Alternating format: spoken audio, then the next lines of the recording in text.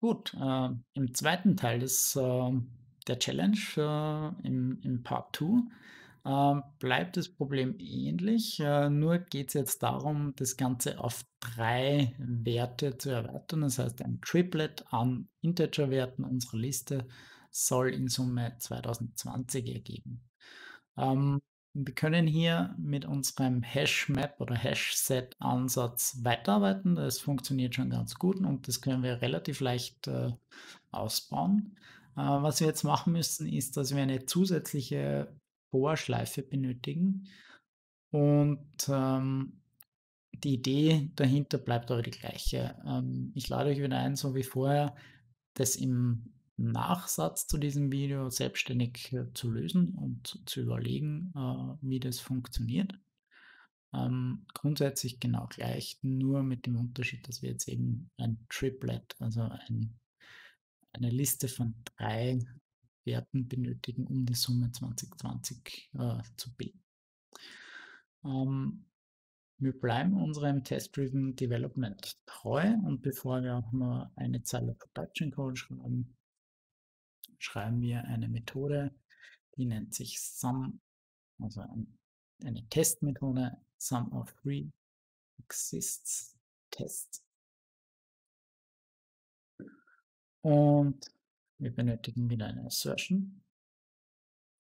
Sums to Target und da würde ich jetzt sagen, wir nennen Sums 3 to Target. Wir nennen unsere neue Methode ähnlich mit dem Dreier drinnen. Auch hier übergeben wir wieder ein Integer Array. Ich nehme hier ein paar Testzahlen. Und zusätzlich übergeben wir die Zielsumme 8 und vergleichen das in der Assertion mit dem erwarteten Wert. Und der erwartete Wert ist wieder eine Liste, diesmal mit drei Zahlen. Und wenn wir uns überlegen, wird die Summe 8 kann gebildet werden aus den Zahlen 1, 3 und 4. Das heißt, das müsste unser Output sein. Ähm, momentan wieder der Test fehlschlagen, weil die Methode noch nicht existiert. Die lassen wir uns von IntelliJ wieder vorab erzeugen. Oder wir können die noch manuell schreiben und nennen das wieder Array und das i nennen wir wieder k, genauso wie bei unserer Methode vorher. Und auch diesmal, wenn wir das so machen, um Schreibarbeit zu sparen, werden wir erstmal den bestehenden Code aus der alten Methode kopieren und das dementsprechend erweitern. Was wir brauchen, ist eine zusätzliche Schleife in der äußeren for loop j in array dot um, size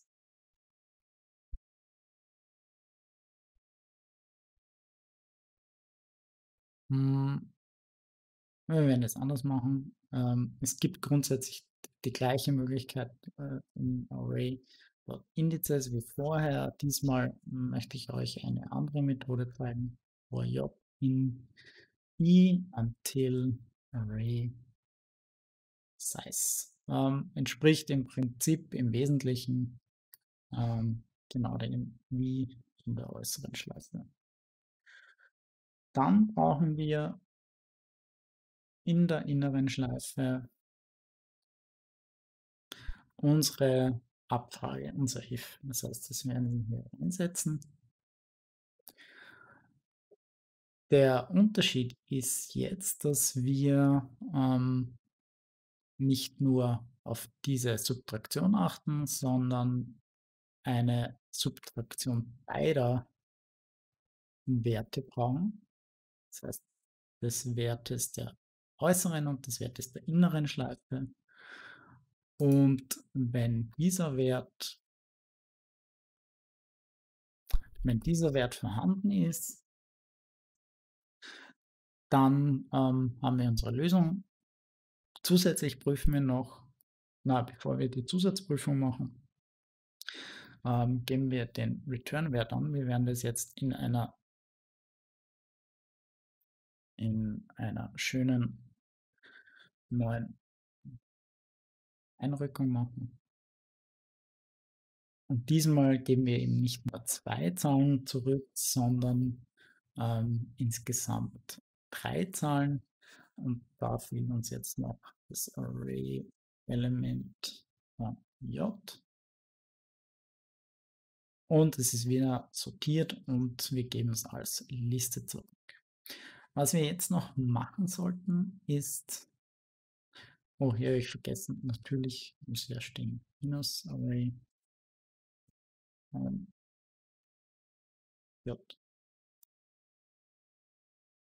Was wir jetzt zusätzlich noch prüfen sollten, wäre, dass ähm, unser Triplet, das wir gefunden haben, wirklich aus drei verschiedenen Zahlen besteht.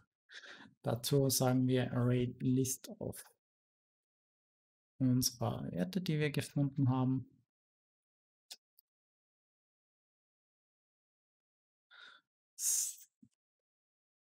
Wandeln wir in ein Set um, das heißt, wir ähm, entfernen Duplikate und so können wir prüfen, ob wir wirklich drei Elemente in unserem Resultatset haben, in unserer Resultatliste. Gut, äh, noch ein kurzer Blick auf den Code. Sollte soweit alles vollständig sein, und dann können wir den Test laufen lassen. Und er läuft erfolgreich durch. Ähm, eine Sache, die ich noch vergessen habe, das ist jetzt eher Zufall, dass der Test durchgelaufen wird. Bei vielen Werten könnte es passieren, dass der fehlschlägt, weil wir hier natürlich auch die äh, inneren, die Werte der inneren Schleife zum Kandidaten Hash-Set hinzufügen müssen. Wie gesagt, ähm, der Algorithmus dazu ist vielleicht für Einsteiger ein bisschen kompliziert. Äh, ich lade euch ein, das einfach nachzulesen, nachzuvollziehen, äh, vielleicht auf einem Blatt Papier aufschreiben, dann erklärt sich das meist von selbst. Ähm, ein Schlüsselwort, nach dem ihr suchen müsst, ist einfach Hashset oder Hashmap. Ich werde jetzt den Test äh, noch ein bisschen erweitern, um auch den Fall abzudecken, dass wir keine Ergebnisse bekommen. Sums, sums free to target. Wir verwenden das gleiche Integer Array. Übergeben hier allerdings den Wert 9. Der Wert 9 sollte nicht möglich sein zu bilden. Ja, und dementsprechend muss unser Ergebnis eine leere Liste sein. Wir lassen den Test laufen und er ist grün und wir sind nur einen kurzen Schritt davon entfernt, äh, die Lösung der ersten Tageschallenge zu haben. Wir erweitern jetzt noch unsere Main-Methode um den Production Code und haben dann auch den zweiten Teil gelöst. Dazu werden wir die Methode hier wieder ausschneiden, fügen das in unsere Main-Klasse und ähm, müssen das dann natürlich in der Testklasse noch importieren. Dann sagen wir ähm, Salt Replet ist gleich Sounds Free to Target. Wir übergeben hier unsere Number List mit der gewünschten Zielsumme 2020 und geben hier als Ergebnis die Multiplikation aller Elemente unseres Result Triplets an. Starten die Main-Methode. Okay, da haben wir noch ähm, einen kleinen Fehler, ähm, weil der Datentyp hier noch nicht stimmt, äh, weil wir ein Integer Array in der Methode verwendet haben. Und wir erhalten als Ergebnis wieder einen Wert Vergleichen das noch schnell mit dem, was ich vorab schon angegeben und gelöst habe und tatsächlich stimmt.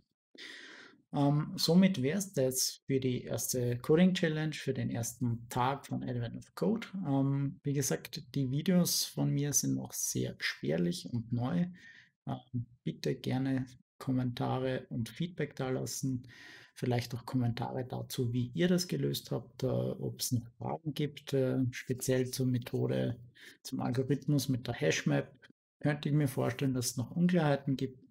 Ansonsten, ich bin sehr dankbar für Feedback. Ich freue mich äh, für einen Daumen nach oben. Ähm, ich freue mich natürlich umso mehr, wenn jemand den Kanal abonniert und ich werde nach wie vor versuchen, alle meine Lösungen als Video aufzunehmen. Äh, zusätzliche Infos gibt es noch in der Videobeschreibung, beispielsweise der Link zum GitHub Repository mit allen meinen Lösungen, falls das im Video ein bisschen zu schnell war. Ansonsten wünsche ich noch viel Spaß damit und eine schöne Coding Challenge.